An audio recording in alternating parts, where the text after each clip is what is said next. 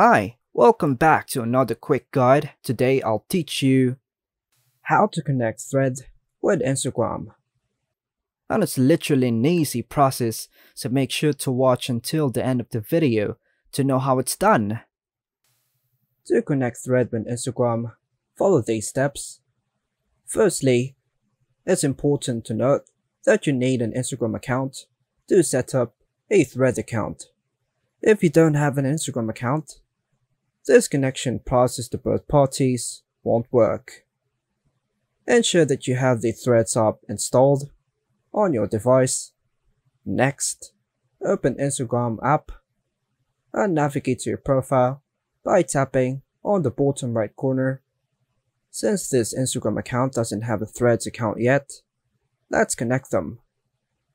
Tap on the Threads icon located at the top right corner of the screen. This will redirect you to the Threads app. Next, tap on your account shown at the bottom.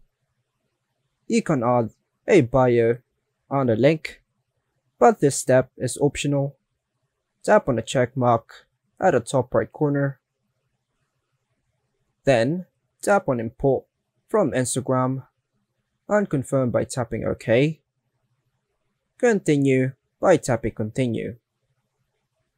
You'll have the option to choose between a public or private profile. Choose your preference and tap continue. And here, you can choose to follow accounts from your Instagram that already have Threads account, or tap follow all. Tap on join threads to proceed. Now, whenever you access your Threads profile by tapping on the profile icon at the bottom right. You can conveniently access your Instagram by tapping on the Instagram icon at the top right. Similarly, tapping on the Threads icon at the top right will redirect you to the Threads app, showing a seamless connection. By following these steps, you can successfully connect Thread with Instagram. And that's all for now folks. Hope you like and subscribe. Thank you.